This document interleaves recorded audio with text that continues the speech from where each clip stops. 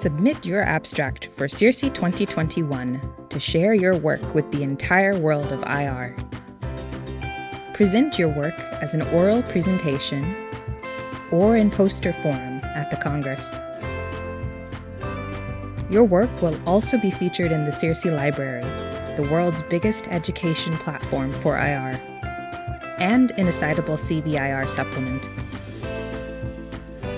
In addition to scientific, educational, and case report abstracts, there are now two new submission categories.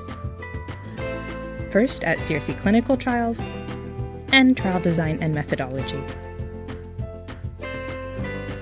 Don't miss this chance. Get maximum exposure for your work.